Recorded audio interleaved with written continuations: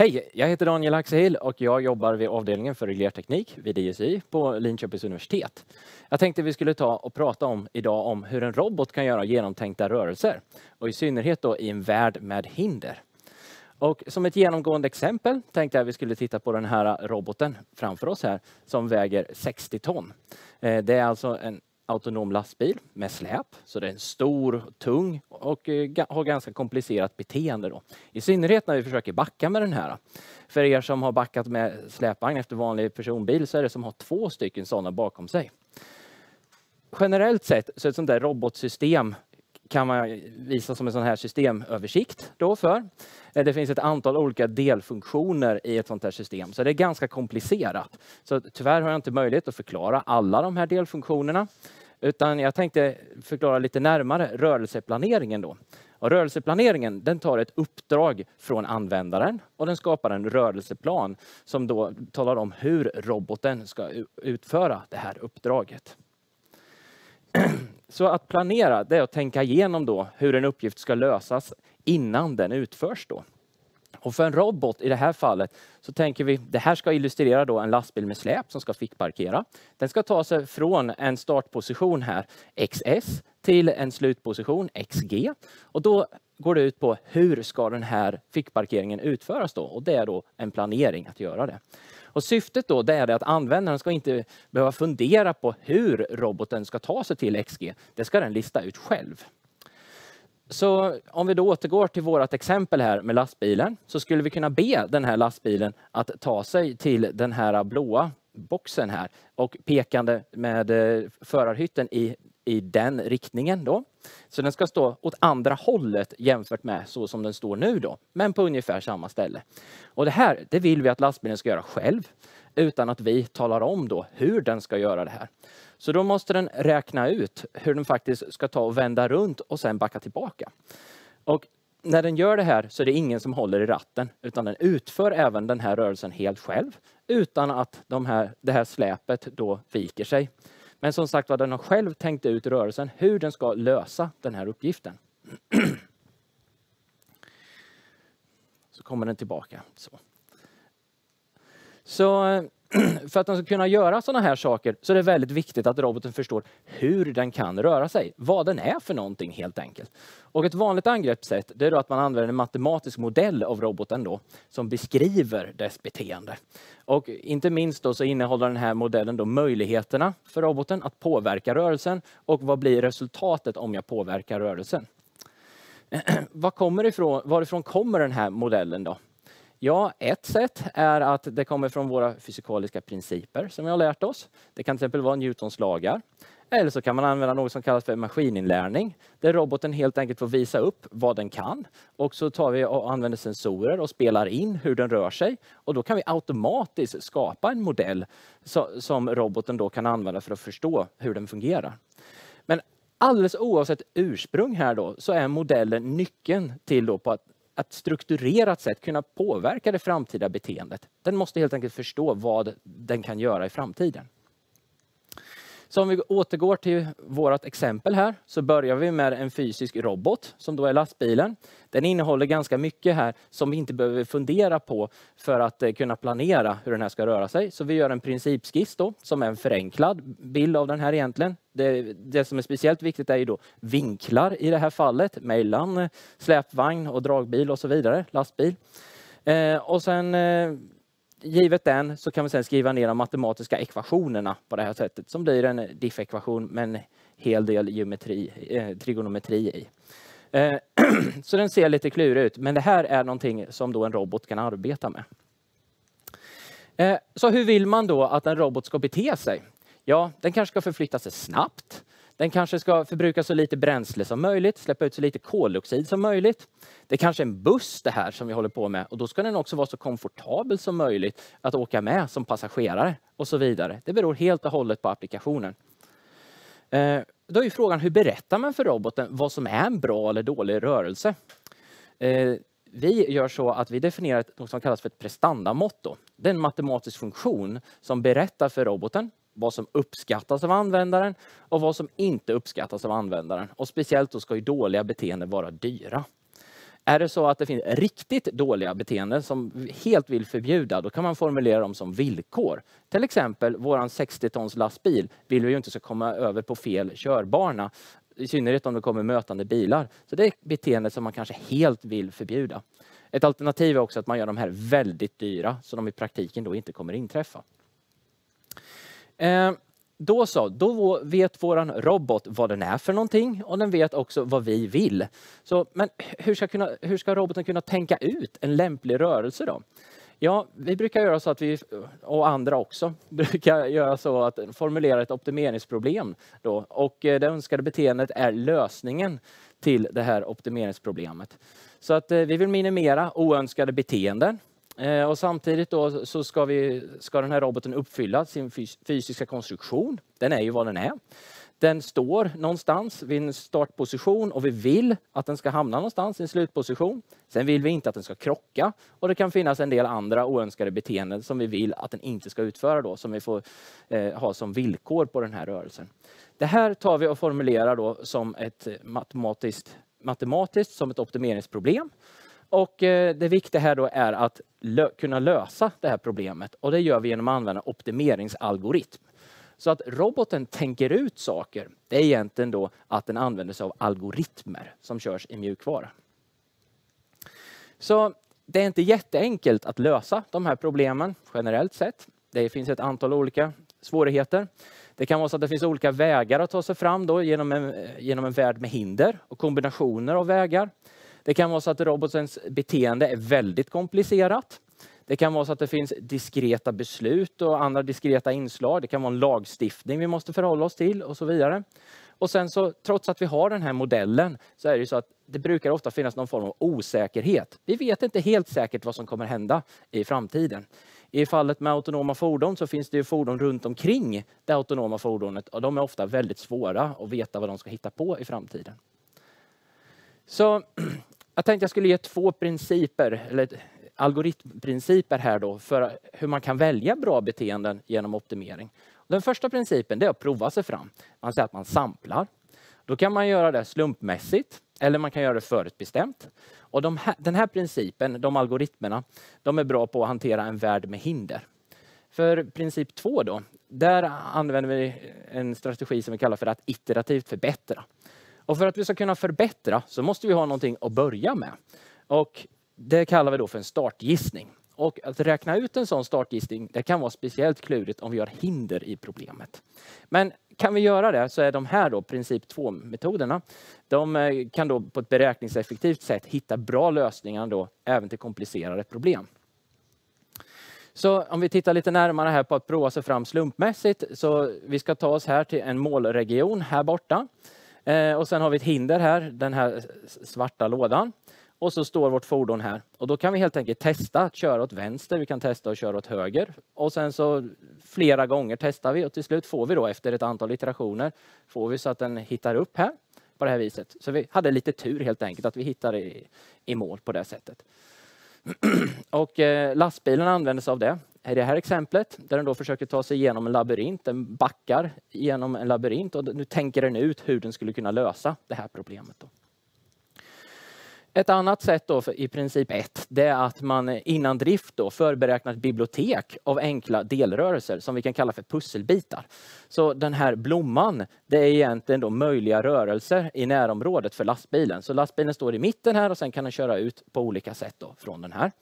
Sen när vi ska lösa det här, eh, lösa problem när systemet är i drift, ja, då kan, står fordonet här och sen ska den ta sig till målområdet här borta och då får den pussla ihop flera stycken sådana här pusselbitar för att nå dit.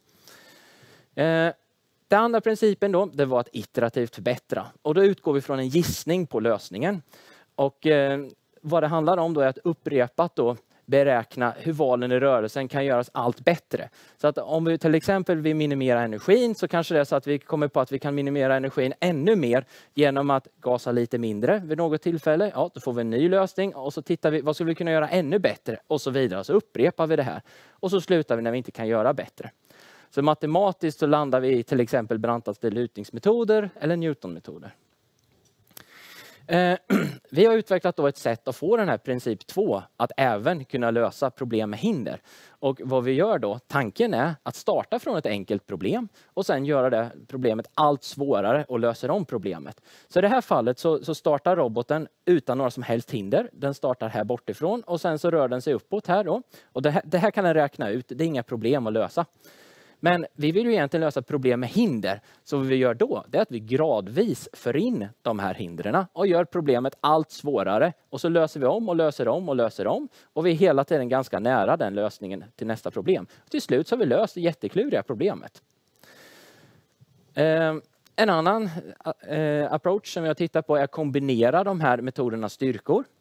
Ehm, och eh, då börjar vi med att prova sig fram då till en grov lösning och sen använder vi den grova lösningen då som en startgissning för att förbättra den iterativt. Då. Eh, och det ser vi här, lastbilen gör det. Så då har vi först räknat ut en, eh, en lösning som är den här blåa streckprickade kurvan här.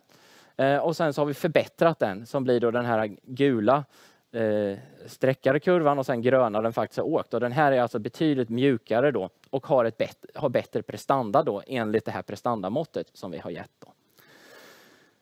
Eh, och då kan man tänka sig, går de här färdigheterna att återanvända dem? Nu, nu när den klarar av att planera för lastbilen och så. Ja, alltså det som man kan säga är en robots färdigheter, det är ju då ofta en algoritm då, implementerad i mjukvara. Och jobbar man med modellbaserade lösningar så ger, ger det möjligheten då att enkelt återanvända algoritmer för att lösa nya problem. Så Oskar Ljungqvist här på bilden, han har planerat med den stora lastbilen. Här kan han också planera med den lilla legolastbilen och han använder samma algoritm i båda fallen. Men modellen är olika för att de beter sig ju lite olika. Man kanske kan tänka sig att man använder det på helt andra saker. Man kanske helt enkelt skulle kunna tänka sig att man har en robotbåt, autonoma skepp. Och det här är alltså eh, i Kapstadens hamn där vi försöker autonomt då komma in till kajen. Och då räknar vi ut de här pusselbitarna vi pratade om. Vi räknar ut en grov lösning hur vi faktiskt kan ta oss in till kajen här borta. Och sen då efter det så förfinar vi den här lösningen då, förbättrar den. Och då ser ni att den här blåa, den avviker lite här och den, den här är ganska så taggig den här röda lösningen medan den blåa tar och jämnar ut den. Man ser även här i slutet hur den här gröna båten lite finare angör kajen där på det sättet. Så med det så vill jag tacka så väldigt mycket för visat intresse. Är det så att ni vill veta mer detaljer om det här så kan ni till exempel titta i doktorsavhandlingarna av Oskar Ljungqvist och Kristoffer Bergman. Så tack så mycket för mig. Och här sitter jag i min eh, julvärdsliknande position. Denna gången så befinner jag mig i Linköping, för vi är på Linköpings universitet. Och ni har ju alla lyssnat till Daniel, som nu tagit plats där. Bra gjort! Ja. Kändes det? Ja, det var lite speciellt. Jag har inte gjort någon sån inspelning tidigare. Så ja. att, eh... Men det, du var ju som ett fullblodsproffs. Ja. jo, men det var mycket bra. Och, och grejen är, det är ju det, är ju det sånt man älskar med det här. Eh, kontakten med liksom forskare och så. Det är ju det är både, man förstår det, visionära utmaningar men i det här fallet blir det också väldigt konkret. Det är otroligt konkret du beskriver det. Jo, det är ju tanken. Alltså, med den målgruppen också som vi fick så blir det ju ganska nära lärartjänsten liksom, när man pratar med studenter och så. Och då kan man ju gå mer konkret så också. Jag tycker det är roligt. Ja. Det, jag brinner ju för det här liksom, att man kombinerar teori och praktik och sen försöker de få dem att gå ihop. Innan vi kommer det, för jag, har, jag lyssnade och jag har massa saker jag är nyfiken på. Hur, hur, hur kommer det sig att du landade här? Ja, det började väl så att jag höll på, jag var examensarbetare på Scania. ja, du, började... du, pluggade här i Linköping? Ja, jag ja. pluggade här i, Linköping och det beror på att jag kommer från Tranås då så att jag är, regionen är ju känd så att säga. Är det Lennart Hyland? Är det, är det Tranås? Det stämmer bra det. Ja. det, stämmer bra det. Så när man är, det är det pingis också? Är det, är det, är det stiga? Vad är det? Ja, det var väl det en gång i tiden så att säga. Ja. Gräsklippar och så. Tyvärr så är det väl nedlagt. Ja. Då. då har jag inte fler Tranås-kopplingar. Ja, nej men Hyland kunde man vinka på när man åkte båt på Sommen då. Yes. På den tiden. Ja, ja, okej. Okay. Eh, ja, men Tranås och så blev är det Linköping då? Ja, det stämmer bra det. Och då var det ju Y-linjen då i programmet. Eh, som, som jag valde, så som jag tyckte då var en väldigt bra program då. Mm. Jag har alltid tyckt om fysik och så. Mm. Så det var så jag kom in på det. Och sen så var du på, var du på Scania sa du? Japp, mm. som examensarbetare där så, så, kom jag dit och då hade jag kommit in på reglerteknik och så då innan det och då bar det av i riktningen mot Scania. Ja. Jag hade lastbilskörkort då sen militärtjänstgöringen så att det var därför jag, jag tyckte det var lite... Allting börjar falla samman där. Ja, jo precis. Alltså det pekar ju den riktningen så att säga då. Så att jag tyckte det var väldigt roligt då att göra exjobbet där. Mm. Och sen eh, så var det väl lite olika doktorandtjänster där eh, som vi diskuterade kring. Mm. Och sen så slutade det med att eh, jag fick ett mejl härifrån att jag var anställd och då, då var jag redan anställd så det var inte så mycket att fundera på heller. Jag, har inte ångrat mig sedan dess. Ja, ja, ja, jag fattar. Men du, då, då har du ju lång erfarenhet från alla möjliga vinklar på det. Men det, det som ju slår en är ju någonstans med alla de här testerna och det är spännande att se. Men det känns ju alltid som det är de här begränsade ja, men de här ytorna. Ofta finns det ju plats på de här. Jag menar, här får du jätte... Det gör du inte så ofta Nej, men det är väl lite så, alltså, det handlar ju om vad kan vi göra idag så att säga. Ja. Och, och det som är mest realistiskt idag, även att det går väldigt snabbt framåt, det är ju avgränsade ytor. Vi har ju hamnar och vi har ju gruvor och så vidare. För där är ju även lagstiftningen med oss så att säga. Ja. Så därför så är ju det här ganska intressant. Man kan ju tänka sig att man som... Och avgränsade ytor, där förekommer inga, inga människor? Nej, precis. Det finns inte, i alla fall de som är där är ju liksom en del i spelet. De är ju medvetna och kan de här fordonen. Liksom, Men kallas det ändå för människor människor eller kallas det besvärliga element? Alltså, får vi... Nej, men det... Jag inser att vi är jobbiga i de här eh, All, allra bäst är om folk håller sig undan. det, det, men det, är, ändå folk, är det, ju, det är ändå människor, det är ja, inte jo, visst. Nej, men jag menar, det, Är det så att människor får förekomma här så måste man ju ha sensorer då som kan detektera dem och så ja. vidare. Liksom. Så, så, så, så, är det ju. Men är det så utifrån det här du visade på hur ni begränsar och man kan göra det svårare och svårare och man kan tvinga den här lastbilen då, låt säga, på en väldigt... Ja, men, man, ska man, vi skulle fick parkera på hotellets eh, eh, parkering igår och det var inga släp där, men det var ju knöligt i sig. Men om vi säger, ja men nu är det bara, finns det bara 10 meter här och det finns 5 meter där och där finns det kan man verkligen rita in förutsättningar och sen tvinga den att tänka ut en väg? Ja, det skulle man kunna göra då. Så att, eh, det beror ju lite på naturligtvis, men i princip så skulle man ju kunna dra det till principernas begränsningar helt enkelt. Ja. Så att går det så går det, då är det liksom lack, lackskifte. Ja, ja det, det, det, det går, du kan göra detta men du kommer behöva göra 700 manövrar. Ja, jo, visst. Då kan man ju då, som vi pratar om villkor och så vidare, då kan man ju säga liksom att det får inte ta längre tid än det här eller något sånt där. Men då kan ju roboten svara och säga att det går inte, jag kan inte göra det. Det, det låter ju som en människa också Ja, jo visst. Det är inte Nej, det går inte. Men, men det, det, det var lite här som vi hört i en annan presentation, liksom, att men det finns ju gränser. Liksom. Så ja. att, ja, men fysikens gränser går ju liksom inte ta sig förbi. Nej. Har man ett stort fordon och det är trångt, då kanske det helt enkelt inte går. Och fackliga regler, man ska ha fikapauser och sånt, det vet det går inte. Det är väl inte utvecklat än för robotar. du, jag tänker på, eh, men en sak är de här fasta begränsningarna. Men det är ganska mycket här som vi pratar om. Nu beskrev du vad kallar begränsade områden. Eller? Ja, just det. Avgränsade. Men, ja, avgränsade. Men mycket i samhället, ja men det, det, det mesta är rörligt. Det Exakt. mesta är ju människor som kommer in, ja. något som blåser förbi, rullar i, alltså slump. Ja, Exakt, kan... ja, men det, det, det, är det som är problemet. Då, att det, det finns väldigt mycket osäkerheter va? Ja. i vad de här villkoren finns så att säga. Vad är det vi ska undvika? Vi vet ju vad de är oftast nu då med ganska stor precision så att säga. Mm. Men vad kommer de hitta på i framtiden? Och det är sånt vi tittar på. Då. Vi försöker prediktera var de tar vägen. Ja, och, och tar vi in i, i stadsmiljöer och, och ja. vi blir mer och mer tätare och tätare och det är fler aktörer och det, det blir mer komplexa och komplexa. Det, det, det låter som extrema utmaningar. Ja, det är det. Och sen är det väl just det här också att en maskin kanske man inte accepterar att den gör fel, även om det är väldigt sällan. Va? Men ja. jag menar, om vi kör bil och alltid tänker att det värsta skulle kunna hända, mm. blir det ganska svårt. Mm. Jag brukar skoja och säga det, att ska man vara helt säker på att man inte får några skador på bilen, då måste den stå kvar i garaget. Ja. Liksom. Det är inte sannolikhet noll ja. att, man, att den kommer hem hel. Nej, och, det, och det här är ju en filosofisk diskussion just utifrån, ja, men när det är en människa inblandad, ja då blir det fel, men jag kan förlåta och vi kan gå vidare. Det var, det var ditt fel, men nu släpper vi det. Men med teknik så infinner sig andra moraliska... Det blir väl lagstiftning också. Liksom. Jag menar, hur, hur, vad måste man kräva av den så att säga? Och jag menar, kan man? Det är väl lite det också. Kan man klara en olycka eller klara sig undan en olycka, då vill man naturligtvis att det ska göra ja. det. Och, så då får man helt köra, tagga ner lite och köra lite mer försiktigt. Men, men en, en, sak när du kom in på det här med bussar. En sak är vad, vad, vad det finns för hinder utanför, det folk, folk som rör sig eller, eller irrationella element utanför. Men om man har bussar, ja men nu kan det vara, ja, nu sitter det, alla passagerare sitter på en sida, alla är överviktiga eh, och de vill titta ut på vänster sida. Eh, det kan uppstå, eller någon rör sig, eller ja. det borde ju kunna få effekter på... Ja, så, så kan det vara. Alltså, Går det att räkna på sånt? Nej, alltså det handlar ju om lastförskjutningar då i sådana fall, eh, mm. lastförflyttningar och det relaterar till det som Lars pratar om också. Men ska mm. man göra en extrem manöver så i det fallet så har det betydelse om man svänger åt vänster eller höger då. Ja, men annars kan man ju få en rollover då om ja. man gör åt fel håll kan man tänka sig. Så det är klart att det är ytterligare en aspekt att tänka på. Eller så får man då vara konservativ och säga det helt enkelt att vi förutsätter att vi vet inte riktigt var människorna befinner sig. Så att vi kan inte styra hårdare än ett visst utan vi klarar alla de här situationerna. Men då kan vi inte riktigt vara på gränsen heller i just den situationen Nej. vi är. Så det allra bästa är om man vet var folk befinner sig då i någon mening. Men vadå, vi kan ju inte väga folk när de går ombord på bussen och sen ha stenkoll på dem. utan, eh, oh, oh, du har gått upp en prisklass. Men du, eh, tänkte, hur får ni in data? Eh, är det sensorer, kameror? Vad, vad, använder ni för teknik? Ja, det är olika sensorer. Är det då. LIDAR är ju ganska vanlig. Man kan kalla det för, för vad, är, vad, är, vad är det? Laserradar kan man kalla det för. Ja. Så man skickar iväg en laserstråle och så ser man hur lång tid det tar innan den Just kommer det. tillbaka och då vet man hur långt. Så, så, så, i den här miljön kopplar ni upp en massa? Ja, det sitter ju på, på bilen. Ja, och, och så studsar det? Och så. Ja, just det. Och i det här fallet så har vi en LIDAR som sitter och tittar bakåt också på släpet. Så det, är, det pratar jag egentligen inte om här. Ja. Men det är lite unikt då. Vi har inga sensorer på släpet i sig, sig självt då.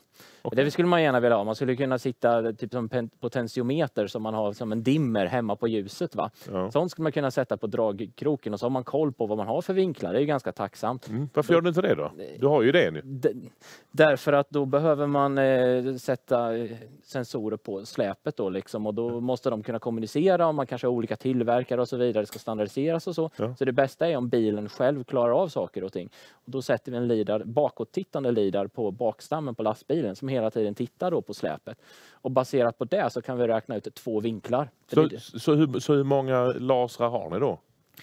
Ja, på den här så är det väl jag törs inte säga exakt för det sitter framåt och sitter bakåt. Jag tror de har även på sidorna på den här. Men just för släpets del så är det en då som tittar bakåt. Där. Och då ska vi räkna ut två vinklar. För det är det som är det kluriga här. Det är två släp efter varandra. Ja. Först en dolly och sen en trailer som ligger på den. Är det det som är facktermen? Dolly och trailer? Ja, dolly är den här lilla ja. eh, släpvagnen som trailern ligger på. Trailern kan ju ligga på en trailerdragare också då med en lastbil som inte har något flak. Då får du vara försiktig med termerna här. Ja. Du har att göra med en, en, en ja, det här är inte mitt Shit, här trailer och dolly och trailerdragare. Ja, alltså trailerdragare det har du garanterat sett. För det är ja. ju de här lastbilarna som drar just en trailer som inte har något flak. Och, och, och kan jag de här termerna så kan jag hävda mig på Scanias julfest. Rätt ja, ja, absolut. Då blir du insläppt. Kanon.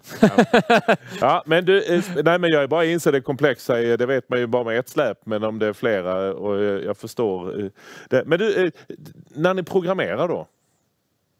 Hur, hur går det till? Har, är det något, jag har en liten idé. Du hade lite olika eh, modeller. Nej, vi testar detta. Nej, det gick åt är, det, är det en kreativ övning? Ni sitter i ett möte och säger, kan vi inte testa en sån? Ja, men gör det. Eller jo, hur jobbar jo, ni? Så, så, är det. Alltså, vi säger så här. Först och främst så, så den som har programmerat mest här det är Oskar Ljungqvist, då, min doktorand som har varit inblandad i det här mest. Men jag ja. kan säga det att det är klart att det är väldigt mycket testande. Alltså eftersom vi jobbar med modeller så kan vi ju testa också offline. Vi behöver inte sitta i lastbilen utan vi kan ju testa mot vår matematiska modell i datorn och se att det här funkar i en simulering. Mm. Sen kan vi gå ut på den där legolastbilen då och se att ja, men det verkar fungera även att det inte riktigt beter sig som vi har tänkt oss. Mm. Sen går vi ut i den riktiga lastbilen. Men det är klart att det är komplikationer i varje steg framåt då. Mm. på det här sättet. Det, men faktum är att det är lite roligt. Det, det, här måste ju vara, det brukar normalt sett aldrig hända, men när vi testade att backa autonomt med den här lastbilen mm. första gången, då funkar det direkt. Jag har aldrig, alltså, aldrig varit med om något sånt okay, cool. Men det är väl liksom undantag som bekräftar regeln. Men, men hur mycket detta är liksom testa och så och hur mycket är ett kreativt arbete att komma på ah, men man borde kunna göra så här, om du sätter lasern så eller om vi sätter en sensor där. Hur mycket... det, det är väl en, en loop där så att säga. Det är mycket kreativt arbete först för att få liksom, eh, bygga upp systemet, liksom, mm. hur det borde se ut och sen så får man få det på plats. Men ja. vadå, oftast funkar det ju inte direkt. Nej. Då kommer ju kreativa arbete igen. Hur, hur, hur mycket samarbetar ni internationellt? För det finns ju andra killar och tjejer runt om i världen som håller på med precis sånt här också. Ja, i det här fallet så har vi inte arbetat så mycket utan det är framförallt mot Scania då som vi har arbetat väldigt mycket. Mm. Oskar har varit uppe en gång i veckan i princip, i alla fall när det varit de här mer faserna där vi ska köra och så. så att säga. Och det, jag tycker det är viktigt också, Scania tycker det är viktigt att vi har det här samarbetet ja. och utbytet. Sen är det ju såklart konferenser som vi åker på och så, men det, det är inte riktigt... Och då är det mycket lego, nu shit vad ni håller på och kör fram och tillbaka. Ja, alltså det, då blir det ju mer teoretiska diskussioner och så på, på, på det sättet. Då, så att ja. Du, jag tänker på det, du sa här, citat, vill att den inte ska krocka. Och så står det, ja men tänk om det finns de som vill att det ska krocka. Mm. Jag bara tänker på, ja men vi har terrorhot och vi har annat. Mm. Kommer det gå att programmera sån här? Att man, nej men den här ska göra skada på samma sätt. Det är en självkörande fordon som blir som någon form av missil in i samhället. Vi, vi läser ju om eh, otäcka och vi har ju haft även i Sverige exempel på eh, vad, vad, vad, vad går det att göra åt sånt? Du menar om någon skulle ge sig på fordonet vi utvecklar eller att det kommer ett fordon mot oss? Ja, eller, har... eller antingen, antingen att man någon vill ja, att någon, någon, inte vill köra trafiksäkert utan man söker. Ja, ja. Nu håller jag på att... Nej, nej, nej, men, så det, det, men, det, men, eller att man nu ska jag skapa en lastbil som, som ska, skapa, ska göra, göra skada. Ja, men, alltså, men man måste ju ett sånt här fordon kommer ju undvika kollision så mycket som det bara går alldeles oavsett om det är någon som har tappat kontrollen över bilen eller om det är någon som eh, ja. verkligen försöker köra på en. Och ja, men då hamnar vi i den där sannolikheten helt enkelt. Jag menar, vi kommer ju inte att alltid kunna undvika allting. Jag menar ett fordon som, som kör aktivt in i oss, det kommer nog vara väldigt svårt. För jag menar konsekvensen om vi ska undvika en sån krock kan ju bli så fantastiskt mycket större. Det skulle ju vara jättefarligt. Ja. Liksom. Har ni med den typen, även om det såklart känns negativt? Så är Nej, det det, just den, det resonemanget är nog ingenting vi har funderat så mycket på. Däremot det andra resonemanget eh, funderar ju folk på naturligtvis, om folk tar över ens egen bil och så. Det är inte riktigt inte mitt område, så att, det är ju ganska uppenbart att är det så att det finns mjukvara i ett fordon så finns ju en risk. Att För alla är inte trevliga killar från Tranås menar jag. Nej, det är ju inte så. Nej, och jag inser att det är delvis en annan grej. Du, jag tänker på det här bara, nu pratar vi om lastbilar här i detta fall. Eh, robotar är ändå det vi vi, det finns andra typer av eh, ja, farkoster och fordon. Så går det att säga någonting om den här tekniken fast utifrån vatten, luft, eh, drönare, Alltså det var ju lite det som vi var inne på, det, att jag menar, tekniken, alltså tankesättet hos roboten är i princip densamma. Vi kan ju använda samma algoritmer, eller snarlika algoritmer i alla fall, och sen applicera det på olika plattformar. Då. Så skillnaden är ju modellen. Och sen så finns det också en skillnad i nivån under hur vi faktiskt utför rörelsen. Då. För att eh, och sensorer givetvis, som du var inne på. Men, men, men, men det här, så att, nu är det lastbilar, men det går, det här nu vet jag inte om man kan flyga drönare med släp direkt, det är kanske inte så. Men principerna går att applicera på andra områden. Ja, det är det. Det, det är väldigt generella ramverk som vi arbetar med och jag själv försöker vara så generell som det bara går. Liksom. Ja. Så att man ska kunna flytta över det så enkelt som möjligt till någon helt annan farkost. Mm. Om, om man nu sitter och tittar på detta här och blir hooked. Shit! Det vill jag. jag vill göra exakt det Daniel gör. Vad är, vad är fast track? Ja, då ska man ju läsa en ordentlig civilingenjörsutbildning ja. inom till exempel då teknisk fysik, systemteknik eller mjukvaruteknik så att man liksom ja. får det här. Det är kombinationen som är viktigt. Man behöver ju kunna mjukvara men man behöver också förstå dynamiska system då. Mm. Daniel, tusen tack för det här samtalet. Ja, eh, jättespännande att ta del av detta och eh, vad heter han nu eh, som hade gjort mesta jobbet med med, med avhandlingen? Eh, Oskar Ljungqvist. Och hälsa Oskar. Han, han, är helt klar faktiskt. Han alltså. är på Volvo nu och håller på med autonoma fordon. Där. Han har varit på Saab, Scania, på Scania ja, precis. Ja, men de har ju utbyte där. Ja, ja. De ja men det är klokt. Iterativt blir smartare. På Exakt. Det är så. Bra. Du, tusen tack! Tusen tack. tack. Och eh, tack för att ni var med och tittade på detta också.